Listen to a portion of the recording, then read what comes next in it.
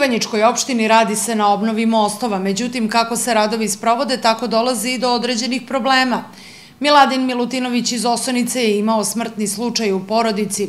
Želeo je da ispoštuje sve običaje da sahrani pokojnicu, ali je došlo do velikog problema kada je povorka koja se uputila od kuće do seoskog groblja trebalo da pređe most, čiji je investitor rekonstrukcije opština Ivanjica. Milutinović je znao da se radi most u Osonici i po njegovim rečima lokalna samouprava je bila obaveštena o slučaju. Rečeno mu je da će oni preuzeti na sebe da prolaz obezbede i da to uopšte ne dolazi u pitanje.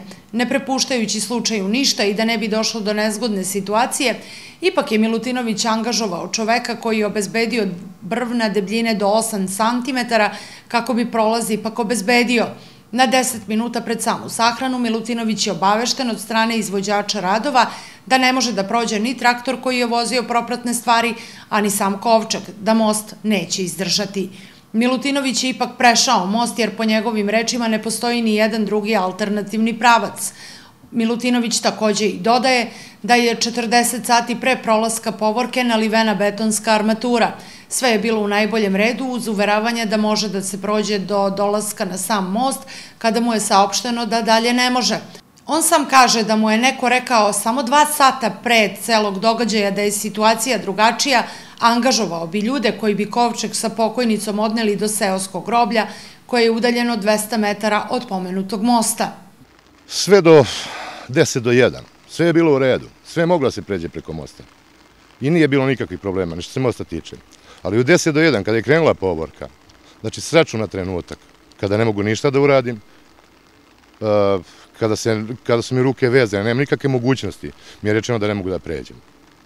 To je jedan strašan trenutak, uh, gde nemaš ništa da uradiš, imaš problem gde ne možeš da sahraniš majku, da je otiraš na groblje. Evo kao što možete videti, nije obezbeđen nikakav prelaz. Znači nije izvođač radova, investitor nisu obezbedili nikakav prelaz da bi moglo da se pređe preko reke na drugu stranu. Ovaj znak za zabranjen saobraćaj je postavljen naknadno. Znači nije tad bio u tom trenutku. Očito da problem nije bio tehničke prirode.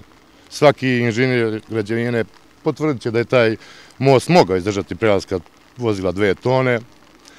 Problem je u mojoj političkoj pripadnosti i u mojim političkim aktivnostima. E, investitor ovog mosta je, pošto je ovo javni put, ovo je put e, vlasništva opštine Ivanjice, investitor je lokalna samouprava. E, to morate pitati lokalnu samoupravu.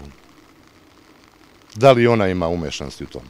Miladin Milutinović kaže da mu je zaprećeno i krivičnom prijavom ukoliko se ogluši na naređenje izvođača radova. Sumnja da je ovaj događaj inspirisan političkom konotacijom jer je on član stranke Slobode i pravde i imao je do sada političkih aktivnosti koje se nekima očigledno nisu svidele. Onda su odlučili, kako i on sam kaže, da ga povrede upravo onde gde je najosetljiviji. Milan Milutinović je čovek koji je vozio traktor. Preko mosta do groblja nije mogao, ali preko reke je morao i to uz pomoć drugog traktora. Nisam mogao da prođem. Morao sam da se vratim dole, pa idem, jedva sam prošao dole rekom, drugi traktor me vozio tu na groblje, sam vozio neke stvari. Šta da vam kažem?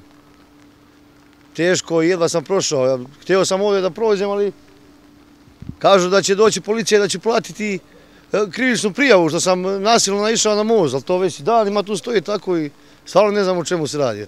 Pitali smo i izvođača radova na ovom mostu Borka Mojsilovića iz firme Građevinar o čemu je reč i saznali smo po njegovoj izjavi da je armatura nalivena dan ranije pre samog čina sahrane i da mora po propisima da prođe izvestan rok.